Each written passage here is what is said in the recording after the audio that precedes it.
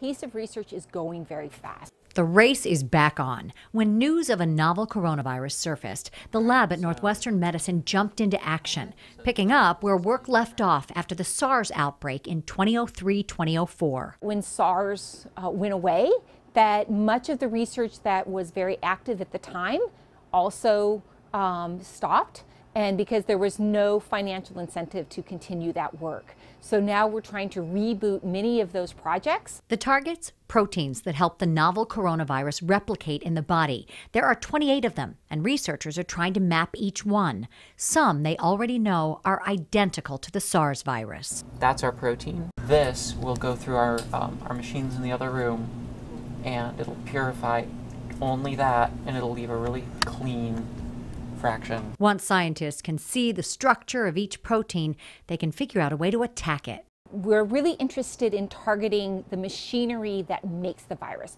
So a virus will come into a cell in your body and begin to replicate itself uncontrolled until it bursts out of the cell to enter into cells next um, neighboring cells. If we can actually put something in that stops a piece of that machinery that helps that virus to grow and help that virus to make more other viral particles, that's the best place to stop it. What Dr. Karla Satchell and her team don't want to stop, the momentum they've built in the last several weeks, a lesson learned from the SARS epidemic. What we're looking at right now is even if it does drop in the spring, there's deep concern that it will actually uh, come up again in the fall. And so we certainly will keep going quite vigilant through the summer and into the fall and see if it reemerges.